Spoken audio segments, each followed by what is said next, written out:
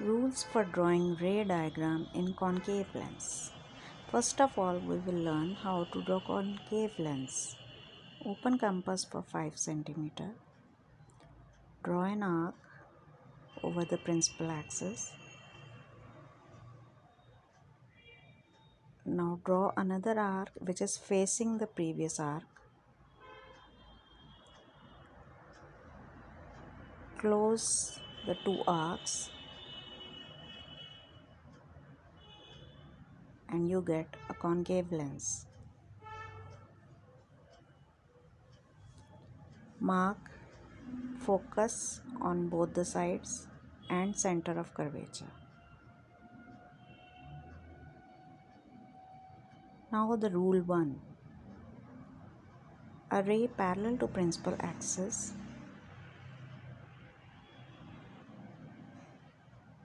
goes away in such a way that it appears to come from focus. Therefore, the ray should be appearing to come from focus or should intersect the focus.